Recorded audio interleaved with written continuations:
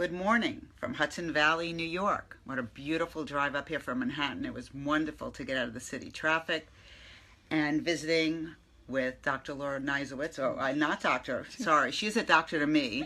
Um, she's not a sexologist either, but but she is a psychologist and is a very interesting um, friend and colleague and has traveled the world. Um, we've had some very interesting discussions, and that's why I thought it was terrific to bring her on today.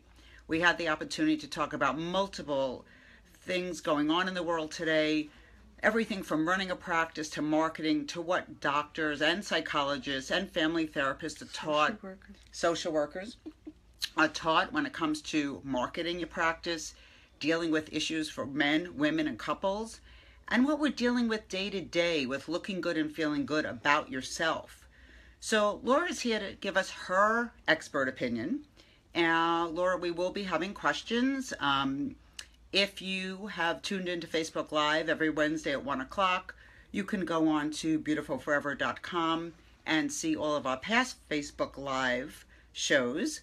And I welcome all comments and all questions. We will get to some of the questions today. And if we don't, we will follow up after today. And I look forward to continuing um, here with Dr. Well, I keep calling her Laura Nizewitz. and um, You could just call me Laura. Okay, we'll just call her Laura for today. And um, I like to make sure the position of the camera is right because Laura looks beautiful and will be beautiful forever. I know that, inside and out. Um, so I guess today, Laura, when we talk about the psychology of couples, of women, of life, I know you often bring in. Uh, when we talk and we laugh about um, fairy tales and stories and you know people looking in the mirror and how they're feeling about themselves. Does a little bit of a facelift or a botox really make somebody feel good inside? What's really going on? There's a lot of psychology behind all of that. There are things that have been written in our industry in the aesthetic market. Um, you know get botox get a facelift it'll change your personality. We all know that's not true it can give you a jolt um, you can look in the mirror and feel better about yourself but really internally, are you feeling better about yourself? And how do we deal in the industry and the practices day to day with with women and men and couples um, about how they're feeling about themselves? Um, and you know, I guess growing up in the fashion business, my dad was in the garment center, my mother was in the accessory and jewelry business, and I was didn't know this. and we're both born in Brooklyn. We know that. so you know, there's so to me, you know, aesthetics and beauty and dressing and makeup. It's just a part of my daily life and my world. And it's Um, fun to dress up. It is fun. Um, and you know, will I leave the house without makeup?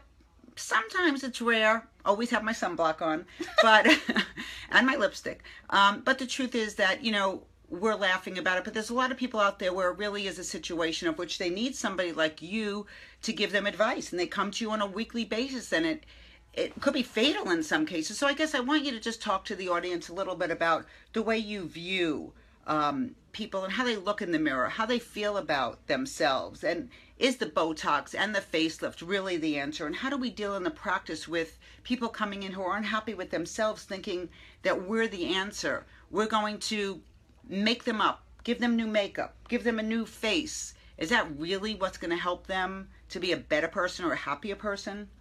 You know, we, we talked earlier about Cinderella. It's one Yeah. of my favorite fantasies. And I think that was great. And I think you should tell the audience. I think they'd enjoy that. So Disney's brilliant uh, Cinderella. She was a girl who sat on the steps, brushing them and singing, "Oh poor me, I this is an awful life," and and the birds were around her, and the squirrels and the deer, because nobody else would listen to that. And then she goes over to the well, which we all know is a wishing well, and she says, uh, Someday my prince will come. But she does nothing to make that happen. And then, because it's a fairy tale, the fairy godmother comes, and she says, What would you like? And she says, because she's really an immature person, a child, she says, I want to go to the party. So the fairy godmother, knowing that she's still a child, says yes, and she gives her a beautiful hairdo and a beautiful dress and lets her go with what would today be a limousine. And she gives her a curfew because she's a kid. and there's Cinderella dancing with the prince because she looks so beautiful. And that's the story we're told as children that if you look beautiful, the prince will automatically come. And this is a fairly vacuous prince. And there he is, being attracted only by her beauty, or so we see. And um, she doesn't say what her name is and where she's from, nor does he ask. And then, you know, the children who watch this tales, the clock strikes 10, the clock strikes 11. We all know 12 is coming, but she doesn't pay attention because she's a child. Right. And suddenly she runs down the stairs and loses her shoe, and he has to go and find her, not knowing her name, not knowing where she comes from. Well, He does know she comes from the town. And now we're going to fast forward to when he goes around trying, or his henchmen go around trying to find this beautiful girl who will fit the glass slipper that she left on, conveniently left on the staircase. It was originally a, a rabbit foot shoe, which which was worn at special occasions because it was very fragile and therefore it was expensive in a in that way. And you turned it inside out, so your foot rubbed the rabbit's fur. And because of that, really only one person would fit that Wow, that's so interesting. I had no idea. Yeah. I can use that now. My feet are always hurt. you can. I don't know who makes them now, but you and can. in my size, I'm not sure about. So he, she, he, she has uh, been locked up in the closet and told not to come down, and uh, nobody could fit into the shoe, of course. And then finally, there is this moment when she becomes an adult and she says, "I deserve this," wow, that's amazing. and that makes her not care about how she looks. Not care what her hair is like, or her makeup is like, or the dress she's wearing that makes her understand that she as a human being is okay. Of course, when we tell this fairy tale to our children, that part gets left out. Somehow it's a miracle that she runs down, she has a little bit of courage. But it's really this adulthood that she reaches. And that's the same thing with plastic surgery or anything like that. It's nice to have the outfit, and you do fit in and you very well might attract someone who's wonderful you know or might be a vacuous prince he was always running after women in distress. Damsels in distress the prince? Yeah, that's Yeah. and um and even though we dress up and we have fun with it it's really not going to make us feel like mature acceptable people until we feel that. So when you said what what what does that do? Well it helps us prepare for that next step that's why teenagers are so really wrapped up in how they look. And they try on different outfits depending on the group they want to Right. be with. And it's wonderful to watch them, but it's so important to fit in, to fit in, to fit in until you reach adulthood and you say, no, I don't have to fit in, I just have to be me. But not everybody can be me and feel good about who they are. And a lot of people don't know who they are. They could be in relationships that have um, been, I guess, putting them down and out. Mhm. Um, they could be in a relationship that they feel that they're incompetent or doesn't make them feel good. I have friends and family that I know have been in relationships where the women, you know, their self esteem went so far down so fast.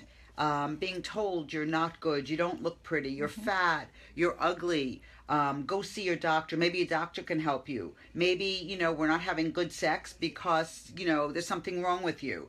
So, as women growing up, it was very important that we try to be as perfect as we can, always look pretty. My mom, to this day, at the wedding last weekend or this past weekend, smile, be pretty, make sure your lipstick is on, you know. so, I mean, and that's very typical, not only of a Jewish mother, but it's very typical of a mother, you know. Um, or, Not all mothers. I was actually raised by a very different mother who wore her hair in a ponytail when everyone had it teased up and and didn't wear a bra when she really should have. So I didn't get that message at home, but most people do, right. and we get it from the whole culture too. I mean, we talked about one of your amazing trips and how you came back from this trip and you were in the supermarket and saw all these magazines. I mean, that alone, you know, kind of is enlightening to see what we're reading and what we're seeing. That actually was more than kind of enlightening. That was a very powerful moment in my life. I had come back from being with tribes where there was no running water, no electricity. I did, you you couldn't wash. Where was that? It was New Guinea. Okay. In the Asmat region, which is essentially mud. They they don't even live in the Stone Age. It's mud. Wow. And they would get their stone axes by trading with the people in the highlands, but it was very very what we would call primitive.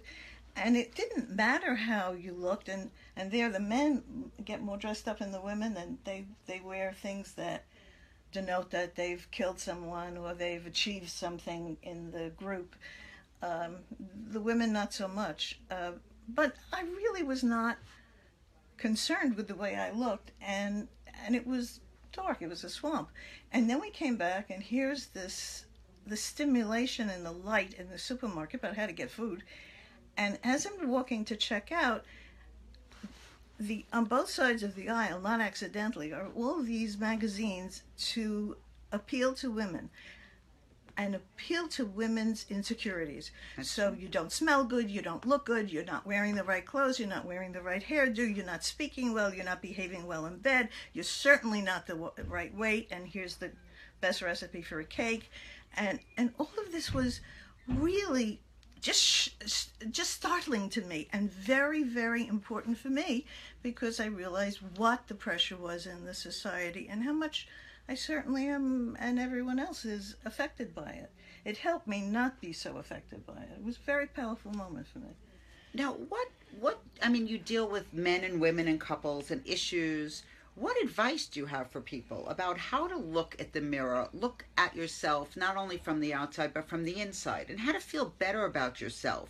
What would be your advice to a patient or to a friend um, that is, you know, not feeling very good about themselves? It takes a lot of work to go from not feeling good about yourself to feeling good about yourself.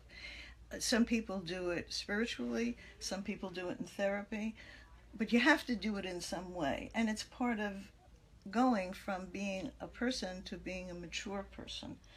Uh, you know, I, I have that thing that was written by my mother in law.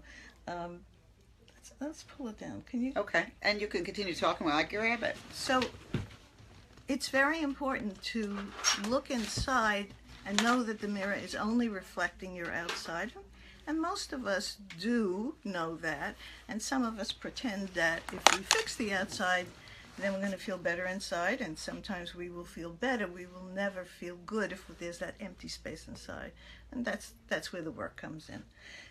This is actually an interesting photograph. Yes. Um, This is my mother-in-law, who's ni- 93 now, and my uh, three grandchildren, her great-grandchildren. We have a new grand great-grandchild for her. Uh, this was uh, taken at my house for Passover maybe two years ago.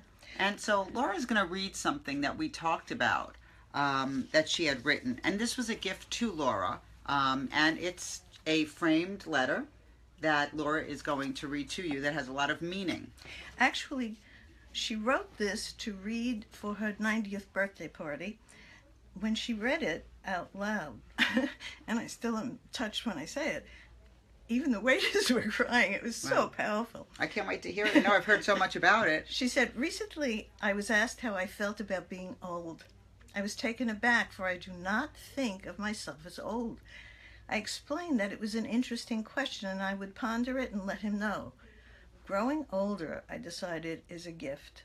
I am now the person I always wanted to be. It's amazing. Sometimes I wonder who that person is that lives in my mirror. I don't agonize over those things for long. I would never trade my amazing friends or my loving family for less gray hair or a flatter belly. As I've aged, I've become more kind to myself and less critical of myself. I've become my own friend. I don't chide myself for eating that extra cookie or, or for not making my bed. I'm entitled to smell the flowers. I've seen too many dear people leave the world too soon before they understood the great freedom that comes with age. Whose business is it if I choose to read or watch TV until 4 a.m.? Sure, over the years my heart has been broken. How can your heart not break when you re- re- lose a, a loved one. It is. It's very emotional. It is. I'm so blessed to have lived long enough to have my hair turn gray and to have my youthful laughs be forever etched in my grooves and my face. I can say yes and mean it. I can say no and mean it. As you get older, it's easier to be positive. You care less about what other people think. I've earned the right to be wrong. so, to answer your question, I like being older. It has set me free. I like the person I've become. I'm not going to live forever. but while I'm still here, I will not waste time lamenting what could have been or worrying what white what will be. And if I want to, and she does, I shall eat dessert every single day. I wish you a day of, of ordinary miracles. Live simply, love generously, care deeply, speak kindly, and leave the rest to God. It's lovely. That is really, it's beyond what you told me. And it does have so much meaning. It's really, I mean, I don't want to ruin my makeup. we are on Facebook Live, but I will make a copy of this because this is amazing. I mean, she should have been a writer. I mean, she's an amazing woman. And I know today at 93, yes. how she had a conversation with you last night and she Sharp is as a tack. It's amazing. Mm-hmm. I mean, you know, that's a you know, it's another thing that brings us back around into this industry is, you know, people are living longer, we want to look better. Mm-hmm. Early we talked about if you're in sales and you're out there, you have to look better because the pressure is on. Yes, there is a discrimination against aging. And, you know, so in our world of aesthetics and wellness and beauty, we have to kind of tie in together aging gracefully mm-hmm. and looking good and feeling good. What would be your um, your words of wisdom to people who really want to look in the mirror and feel better about themselves and you know um, fairy tale not fairy tale you know how would somebody start on this on this path to just, you know, maybe there'll be a sentence or something they write and look at every day. Maybe there'll be some spiritual, and I know you're very spiritual in a lot of ways, which is very interesting. Um, and you've traveled the world, so you've seen a lot. So just give us some, you know, final words of advice coming from somebody um, who talks to so many men, women, and couples who are unhappy, who want happiness in their lives um, what direction or what can you what can you tell them? I mean i you know i don't know you know it's easier to say well happiness comes from in and it does. And it's also easy to say well you have to look good and you mm-hmm. do. And all of that is true. If you don't feel good inside then you have to do the work there. And again it's either spiritual or in therapy or in some way work on that and if it's not, if it's on the outside and you don't feel right. good about that, work on that. However, if you only work on the outside, it's a waste of time.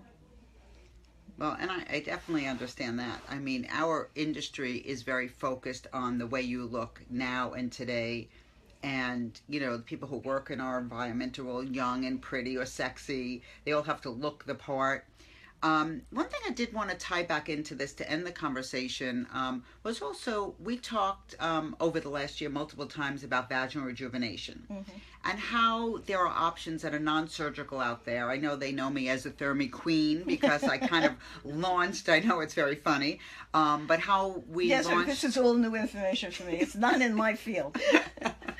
but you know, but bringing it into your field, like we're bringing it into the GYN market, mm-hmm. um, you know, vaginal rejuvenation and um, having feeling better about yourself as a woman. And now there's um, there's things for men. Obviously, you know, men have medication they could take. There are injections for men. There's lots of things out there, but a lot of women take it personally that you know if they can't have good sex or they have incontinence and they have issues um, and how it's affecting them as a couple and then the men are taking it as we talked about personally that maybe they're not you know doing something right. So how do you see this non-invasive non um, surgical alternative for women to change around their lives to feel better about themselves you know internally and sexually um, as an individual and as a couple? Sexuality is so important in a marriage. Uh, if both people have a good libido, that's great. If both people have low libidos, that's fine too. It's when one has a high libido and one has a low libido, you got a little problem. But then, when, or a big problem, then